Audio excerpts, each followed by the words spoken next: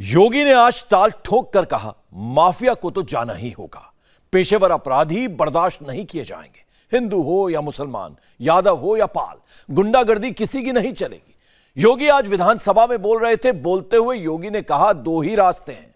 चुनौती का सामना करो या फिर उनसे डरकर भाग लो। हम पहले रास्ते पर यकीन करते हैं। हर समस्या के दो समाधान, भाग लो या भाग लो। जैसे नेता प्रतिपक्ष की सीट खाली है भाग लो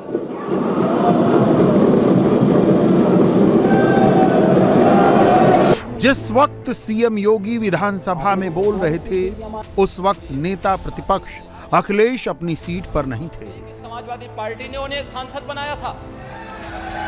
योगी मिला हुआ मौका चूकते नहीं। अखिलेश पर योगी का यह हमला इस बात का सबूत था। उन्होंने कहा, हर समस्या के दो समाधान होते हैं। बहस में भाग लो या फिर विधानसभा छोड़कर भाग लो। हम सब जानते हैं। हर व्यक्ति इस बात को जानता है। हर समस्या के दो समाधान होते हैं। हर समस्या के दो समाधान, भाग लो या भाग लो।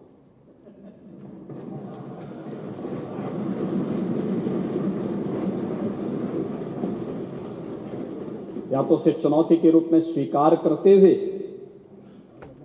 उसका सामना करो, उस प्रकार की कार्य योजना बनाओ और उसके समाधान के स्तर पर पहुंचाओ, जैसे कि छह वर्ष के अंदर किया गया। और दूसरा है, जैसे नेता प्रतिपक्ष की सीट खाली है, भाग लो। राज्यपाल के बजट अभिभाषण पर योगी का पूरा जवाब बेहद क्राफ्टेड था। इस भाषण से साफ़ पता चल रहा था कि योगी अखिलेश यादव का पूरा दांव भांप चुके हैं। समाजवादी पार्टी के नेता क्यों रामचरितमानस पर हमलावर हैं? अखिलेश ने स्वामी प्रसाद मौर्य को जाति जनगणना की कमान क्यों सौंपी है? मानस की चौपाइयों पर स्वामी प्रसाद मौर्य के अटैक का मतलब क्या है? अखिलेश क्यों अतीक के मामले में योगी को लपेटने की कोशिश कर रहे हैं? जब बुलडोजर बाबा विधानसभा में गरज रहे थे, ठीक उसी वक्त प्रयागराज के चकिया में अतीक के करीबी ज़फ़र अहमद के घर बाबा का बुलडोजर गरज रहा था। अतीक अहमद के घर पर बुलडोजर चलने के बाद काफ़ी दिनों तक इसी घर में अतीक की पत्नी शाइस्ता परवीन ठहरी थी। अतीक के करीबी ज़फ़र का यह ठिकाना जमींदोज हो गया। मिट्टी में मिल गया, पूरी तरह धराशायी हो गया।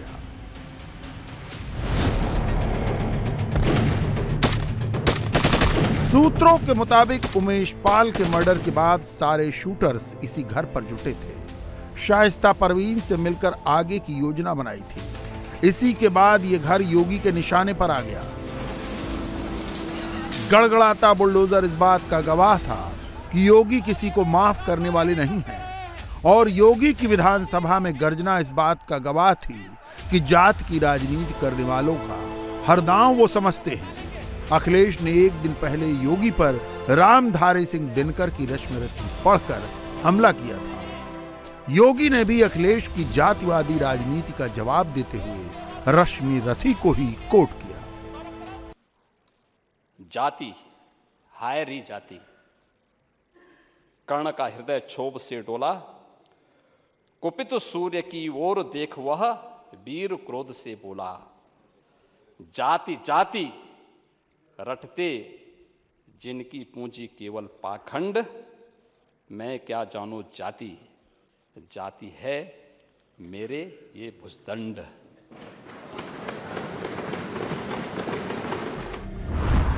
फिर योगी ने उन सब की जाति का ज़िक्र किया जो माफियावाद का शिकार हुए। अतीक अहमद जैसे गुंडों की गैंग का शिकार हुए। चाहे वो राजू पाल रहे हों, उमेश पाल रहे हों, या फिर उनका सरकारी गनर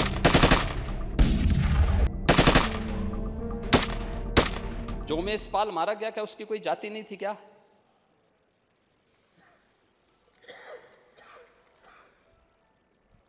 संदीप निषाद जो हमारा कांस्टेबल मारा गया क्या उसकी कोई जाति नहीं थी क्या?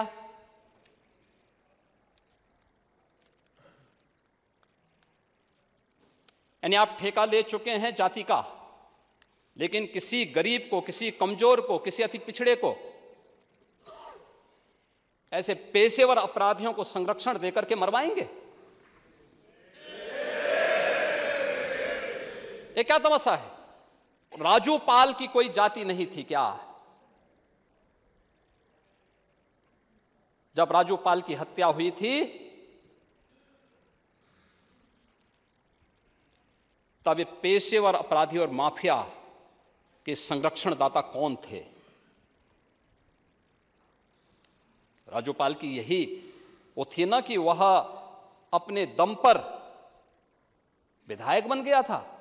मुख्यमंत्री योगी ने सपा बसपा के माफिया राज पर हमला करते हुए कहा हमने लघु और कुटीर उद्योगों को बढ़ावा देने के लिए वन डिस्ट्रिक्ट वन प्रोडक्ट दिया जबकि आपने वन डिस्ट्रिक्ट वन माफिया दिया।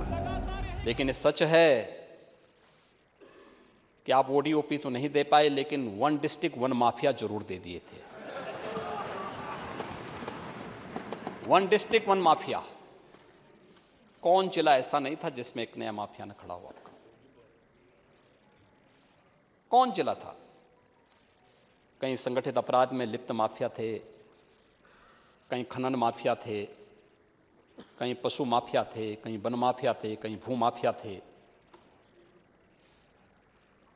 और ये आम उत्तर प्रदेशवासी जानता है इस बात को।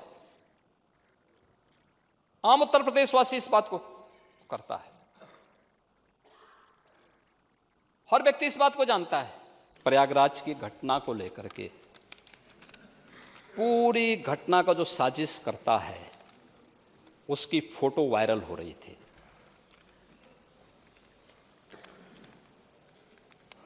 साजिशकर्ता की फ़ोटो वायरल हो रही थी कल। और कोई उससे भाग भी नहीं सकता है। लोग कहें कि साहब, सोशल मीडिया का ज़माना है, लोग कुछ कर लेंगे। अरे, हाथ मिला रहे हैं, पीछे आपकी पार्टी का सिंबल लगा हुआ है, और तब भी आप उससे मुँह मोड़ने का प्रयास कर रहे हैं।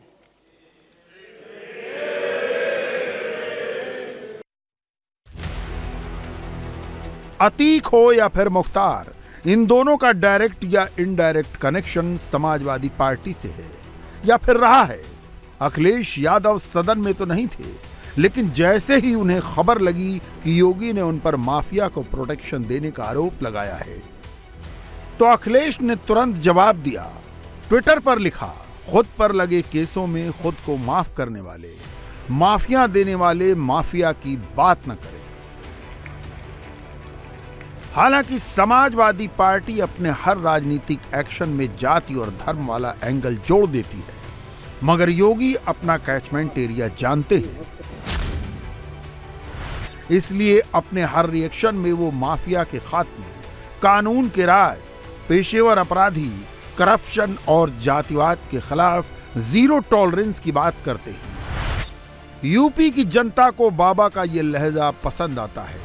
इसीलिए उसने 2022 में बाबा को पहले से ज़्यादा समर्थन देकर सत्ता में भेजा। इंडिया टीवी हर वक्त, हर जगह। डाउनलोड करने के लिए सर्च करें India TV news, Google Play store या एप स्टोर पर।